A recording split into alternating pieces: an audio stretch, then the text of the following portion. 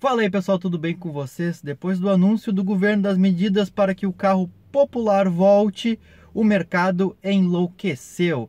Compras foram canceladas, vendas não estão acontecendo, o crédito está mais difícil ainda, mas tudo isso também influencia nos carros usados. E quando vai baixar o carro usado, se essa medida entrar mesmo, como é que fica? Eu compro o carro agora, eu espero. Cara, eu quero conversar sobre tudo isso com vocês, porque tem muita polêmica no mercado.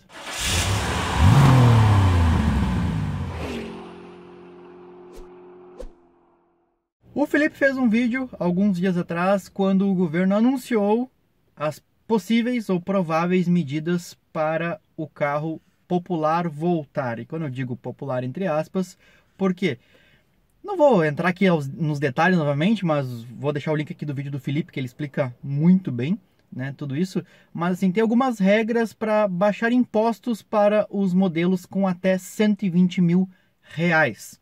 Então, tu tem ali um, um valor podendo chegar até 11, não sei quantos por cento é, de redução. É, tem que ter alguma, um número X de, de componentes sendo vendidos aqui no Brasil. É, também tem a ver com emissões de poluente. Bom, Resumindo, tem algumas regrinhas para que o preço do carro é, baixe, pelo menos em relação a impostos. Só que o governo fez isso meio que só falou, nós podemos fazer isso, mas não fizeram.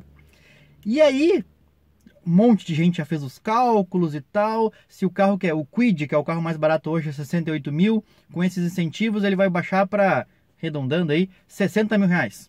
Né? Não é bem isso, mas muita gente já fez esses cálculos. E o que aconteceu? Quem estava com o carro comprado já foi lá e cancelou a compra. Não, vou cancelar, né? Não vou pagar mais caro, sendo que o governo daqui a pouquinho vai é, colocar esses, esses incentivos aí. Vou pagar mais caro por quê? Então, muita gente, uh, muitas concessionárias estão perdendo vendas porque quem já estava com o carro comprado está cancelando a compra. Muitas locadoras estão cancelando compras e esses compram muitos carros todos os meses né? E quem estava pensando em comprar o carro e ainda não tinha comprado, também foi lá e falou assim, ah, vou esperar, vou esperar. Um erro gigantesco, na minha opinião, né? Entre falar e vou dizer, vou anunciar daqui a tanto tempo. Não, quando tu vem com isso para anunciar isso, já tem que estar tá tudo organizado, tudo or orquestrado para que aquela medida entre naquele momento em vigor, né? Então agora tá todo mundo em stand-by pensando, bom, quando o governo então realmente oficializar isso, aí sim eu compro o carro. Então as vendas já estavam ruins, começaram a ficar pior ainda esperando tudo isso. Um outro ponto, o crédito está muito difícil de conseguir. Né? Agora o Banco Central está tentando colocar a culpa na gente, aí, nos consumidores, dizendo que a inadimplência está muito grande, por isso que o, o, o valor do crédito, né, os juros, está muito alto e também por isso está tão difícil de conseguir crédito. Na prática, a gente sabe que tem muito a ver também com a taxa Selic, né? Que eles não baixam ela. Uh, e aí eu não sou economista, não vou dizer se tem que baixar ou não, mas é, o ponto é que não, não está baixa agora.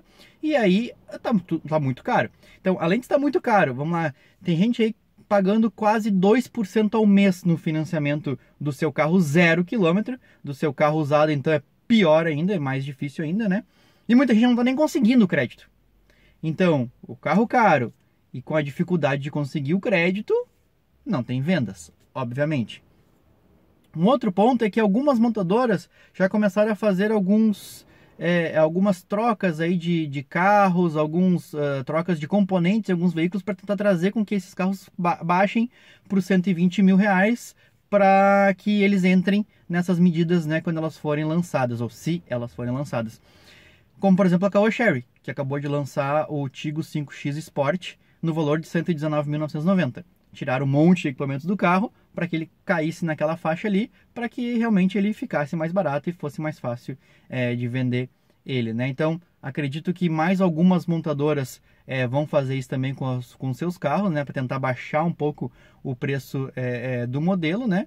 E aqueles, obviamente, que já estão dando essa faixa até os 120 mil, também vão ser é, também vão baixar de valores, né? Mas o principal e o que mais nos perguntaram nessas últimas semanas, na live principalmente, é se o preço do carro usado vai baixar também.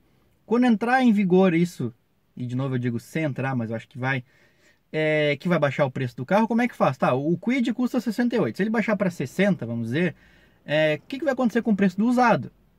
né? O preço usado não pode ficar igual. Ele também tem que ter uma, uma mudança, né? Beleza.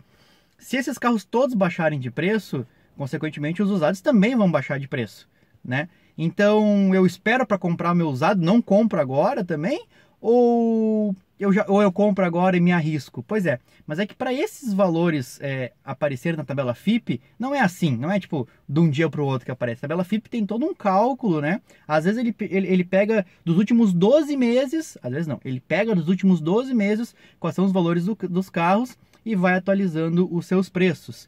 Então, assim, no primeiro mês, talvez dê uma leve quedinha, mas ainda assim o preço vai continuar normal. Então, só vai realmente aparecer efetivamente a diminuição de preço desses carros usados na tabela FIP quando basicamente estiver acabando esses incentivos, porque lembrando que o governo tinha falado que seria esses incentivos seriam por alguns meses, né? Não seria não tá lá dizendo ah vai ficar cinco anos, não sei o que, não, não, vai ficar por alguns meses esses incentivos. Então, praticamente quando estiver acabando isso é que vai começar a aparecer na tabela FIP, então é, essa diminuição, essa possível diminuição do preço dos usados.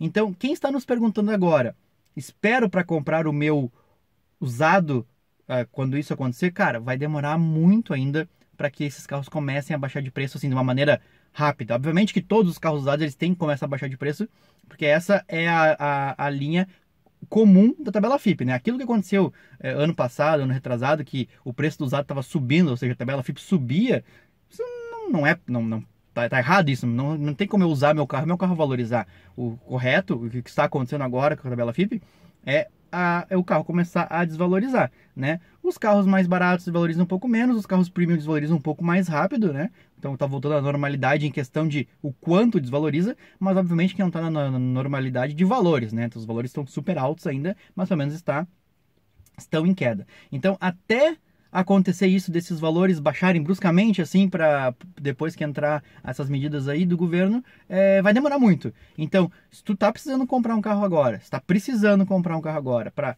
trabalhar para se deslocar não sei é, compre não fique esperando muito porque só vai mudar muito esse preço daqui sei lá um ano. Então se tem necessidade de comprar tá precisando comprar compre.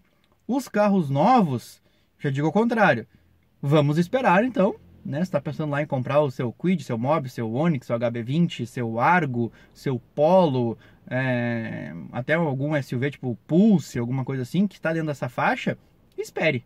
Agora realmente eu acho que é a hora de esperar para a gente ver o que, que vai acontecer para a gente não perder dinheiro na compra do meu é, o zero. A gente sabe que comprar o zero quando tu sai da concessionária já baixou de preço, né? Tu já perdeu dinheiro, teoricamente. A não ser naquele mercado maluco que nós estávamos até há pouco tempo atrás. Mas sim, tu perde dinheiro. Então, para perder menos, vamos esperar, vamos ver o que vai acontecer. Porque não adianta só o governo dar os incentivos dos impostos.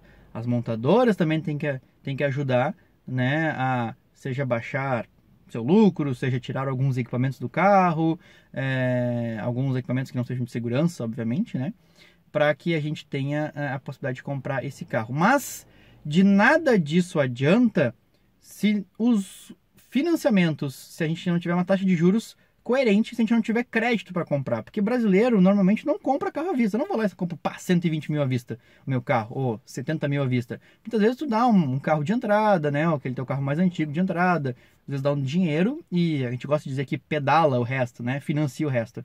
Então, se baixar o preço lá dos seus 68 para 60, vamos dizer, e não tiver crédito, não adianta nada né? Continua não conseguindo comprar o carro, né? Então eu tenho que baixar o preço, os impostos, baixar de repente alguns, alguns equipamentos, alguma margem de lucro é, e ter crédito. Aí sim eu vou viabilizar a compra dos veículos novos novamente. E os veículos usados entram na, na onda, né? Se tem mais novos sendo comprados, o mercado de usados também fica aquecido, começa a baixar de preço e começa a girar cada vez mais. Eu tenho mais usados é, no mercado para girar e, consequentemente, os preços também caem. Então, é, um, é, tudo, é tudo bom para todo mundo, né? É, preço mais barato no novo, preço mais barato no, no usado e fica todo mundo fica é, mais feliz. Mas assim, de novo, não adianta só o governo querer fazer isso, né? As montadoras também têm que é, querer é, diminuir também o, o, seu lado. E a gente não. O carro popular ele só vai voltar mesmo se a gente tiver carros mais simples, porque, cara, quanto é que vai conseguir baixar no preço de um, de um, do Mob ou de um Quid? Não baixa tanto assim. Ainda vai continuar caro. Ainda vai continuar caro. Uh, o Felipe falou um tempo atrás, chamaram de louco, né? Tipo assim, se o Gol voltasse, se o Uno voltasse, não o Mille, claro, né? É, que são projetos já mais antigos, são projetos já pagos, já, né, ok.